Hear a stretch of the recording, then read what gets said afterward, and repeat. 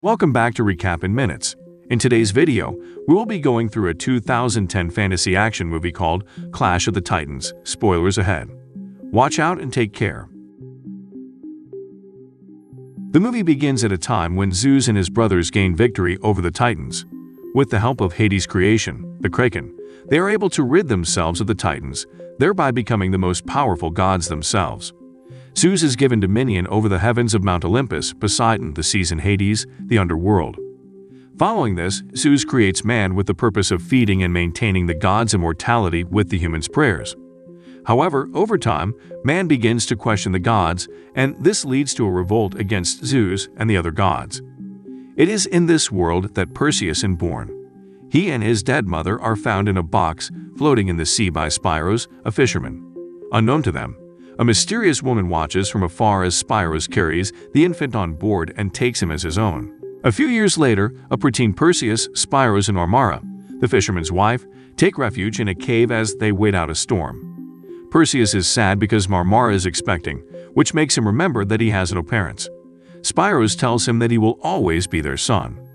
He also tells Perseus that although he never really understands the motive of the gods, he knows that Perseus was born for greatness. Twelve years later, Perseus and his family go fishing, but they are disappointed with the day's catch.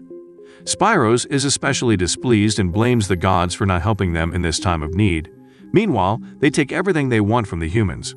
Marmara tries to tell him that these trying times are caused by those who have revolted against the gods but Spyros is too inconsolable to listen. He is tired of being given scraps despite still being asked for all the gods love. He cannot wait for someone to put an end to this cycle. Later that night, Perseus watches the stormy seas as his mother and sister sleeps, yearning for something while feeling in his heart. Spyros sees this and tells his son that he wished he had the answers to the questions Perseus had. Perseus, however, tells him he has everything that he could ever want, his family. The next day, they approach the statue of Zeus at Argos. Immediately, they realize that there is something askew and they are right. They have arrived at Argos just as Argon soldiers were completing their discretion of the great statue, by knocking it into the sea. This causes Hades and his Furies to attack the soldiers and everything nearby. Perseus and his family are not spared from this onslaught. Hades wrecks their ship and despite his best efforts to save them, Perseus loses his entire family as they are caught in the wreckage underwater. Meanwhile, Zeus holds court with the other gods on Mount Olympus. He is incensed at the situation at hand. He cannot believe they reward his love with such defiance. Hades chides Zeus for being too soft on the humans. He proposes that they must teach the humans a lesson for their insolence. Zeus agrees, unleashing Hades on the humans. Back on Earth, soldiers take the shipwrecked Perseus to the Argon Palace, where King Cepheus and Queen Cassiopeia are celebrating their shallow victory over Zeus. Their daughter, Princess Andromeda, chastises them for celebrating their victory, while ignoring the peril they bring to their people by defying the gods. This falls on deaf ears and her mother even declares they do not need the gods as they are capable of ruling themselves and creating beauty. Beauty like the princess who she proclaims is more beautiful than the goddess of love and beauty Aphrodite. King Cepheus tries to reel her in, but it is late. Hades appears in a fiery gust of wind and kills most of the soldiers in court before killing the queen. Following this, he sets an ultimatum for the people of Argos. In 10 days, there shall be an eclipse of the sun. If Argos does not offer Andromeda as sacrifice to the gods as penance for their impudence, he shall unleash full destructive force of the Kraken on the city. Before he leaves, he informs the shell-shocked denizens that Zeus is Perseus' father. At Olympus, one of the gods tells Zeus about Perseus, a demigod in Argos who is his son. Zeus is initially skeptical that he has another son in Argos before writing him off as another mortal who does not pray to him. Back at Argos, Perseus is aggressively interrogated by Draco, the captain of the royal guard who despises the fact that Perseus is linked to the gods by blood before the king stops him. He appeals to Perseus to help him save his daughter from the gods, but Perseus does not even believe he is a demigod. Moreover, some even whisper that they should give in to Hades' demands. In the Kerfuffle, Perseus is imprisoned by the guards. While under custody, Perseus is visited by the mysterious woman who watched as Spyros rescued him from the sea at an infant. She reveals herself to be Io, a woman who was cursed by a god after refusing his sexual advances. She also confirms that he is indeed the son of Zeus. After King Acrisius led a siege on Olympus in defiance to the authority of the gods, Zeus impersonated him in order to impregnate his wife Danaë. When the king discovered this treachery, he is driven to insanity. He kills his wife before sealing the infant Perseus in her coffin with the purpose of launching them into the sea. Just as he is about to, Zeus strikes him with lightning, deforming his severely. Being a demigod, Perseus survived in order to carry out his life's purpose to kill the Kraken. Although he could care less about this, he agrees to kill the Kraken because its death means he can get his hands on a weakened Hades, the god who killed his family. In the next scene, Io tells Draco they must get the advice of the Stygian witches. Draco wants none of her help. The soldiers prepare to head out on the quest, but morale is low because killing the Kraken is a suicide mission. As they leave the city, two hunters join the posse on their mission. Meanwhile, Hades finds the former king Acrisius dwelling in a cave, now living as the deformed Calibos. He informs him that Perseus is still alive and that he had killed his wife for nothing.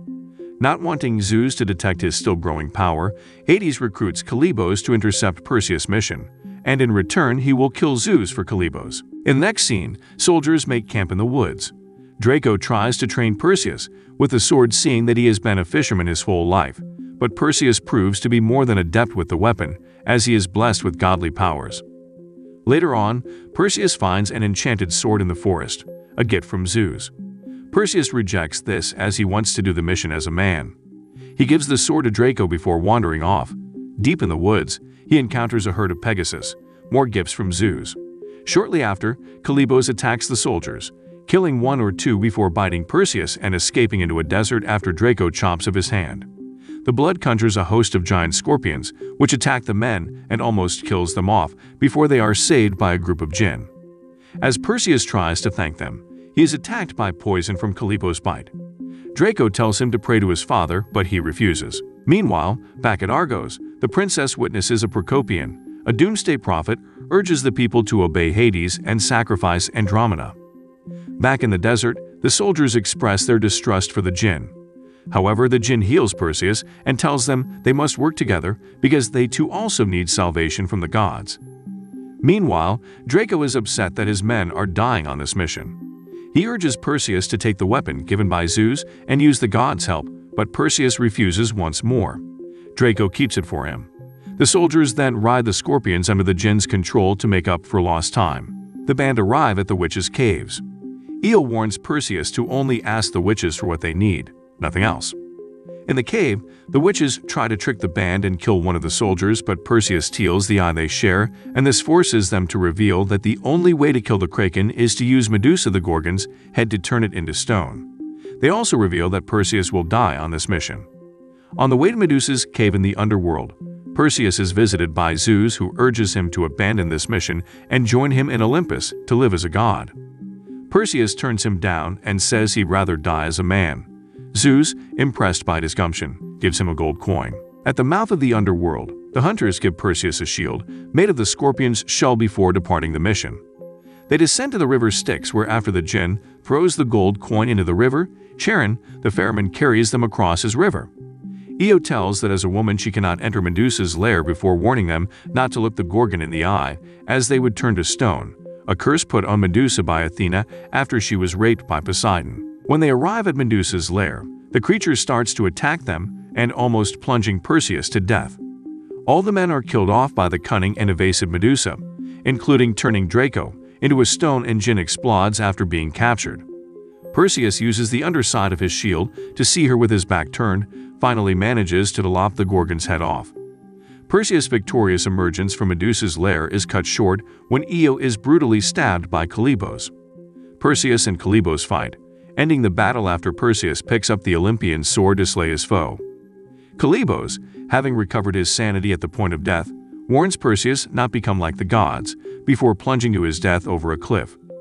Io urges Perseus to return to Argos to save the princess but he waits until she dies as he cannot leave someone who had watched over him his whole life at her point of death.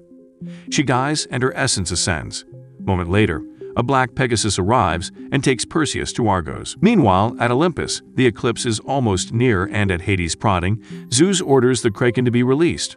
As the Kraken approaches, Prokopion leads a crowd who break in and abduct Andromeda in order to offering her as sacrifice to Hades. biting her at a cliff edge as the city falls. On Olympus, Hades finally pounces on Zeus, revealing that he is feeding off the people's fear and has gained the power he needs to overthrow Zeus. In turn, Zeus brilliantly reveals that Perseus is on his way to save the day in Argos.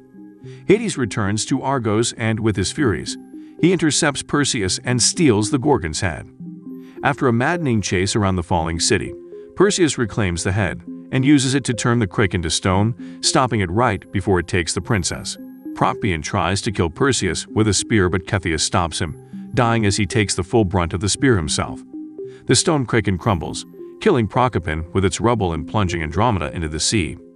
Hades appears and tries to take Perseus down, but the demigod, with his sword enhanced by Zeus' lightning, stabs Hades and banishes the god into the depths of the sea. After this, Perseus dives into the sea and rescues the princess. When they come to at the beach, the princess requests that Perseus becomes king of Argos, but he turns her down before riding off with the Pegasus. In the final scene, Zeus appears to Perseus and thanks him for his efforts. They acknowledge that Hades is only injured and are wary of his return. Zeus offers him a place on Olympus once more but the demigod turns him down. Seeing he cannot convince his son to follow him, he leaves his son with one final gift, a revived Io. Thanks for watching. Please don't forget to subscribe and turn on the notification bell to get notice when a new video is uploaded.